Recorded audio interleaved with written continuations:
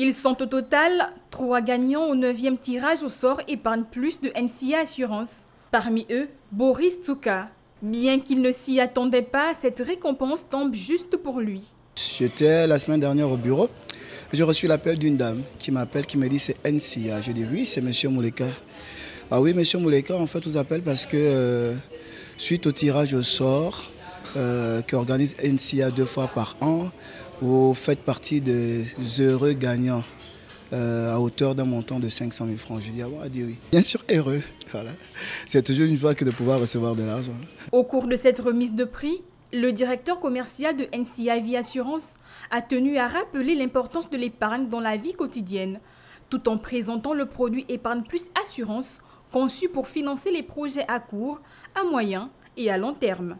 Ben, il est important déjà de rappeler euh, que nous sommes à la cinquième année, et c'est le neuvième tirage qui récompense effectivement nos, euh, nos clients en portefeuille qui ont choisi d'épargner sur le produit qu'on appelle NCA Épargne Plus. Lorsqu'on se donne la discipline d'épargner une partie de ses revenus, cela vous permet, n'est-ce pas, de faire face euh, à certains imprévus et de réaliser en fait, dire, vos projets et de vous constituer une solidité financière à long terme. Au niveau des NCA, nous sommes fiers d'accompagner toutes les personnes qui ont choisi hein, euh, d'épargner et de les récompenser avec un chèque de 250, 500 000 ou 1 million. Le groupe NCA, présent dans 12 pays d'Afrique, a pour principale mission d'offrir des solutions compétitives et innovantes en assurance, tout en fournissant à leur clientèle protection et financement leur permettant de participer au développement économique et social de leur pays.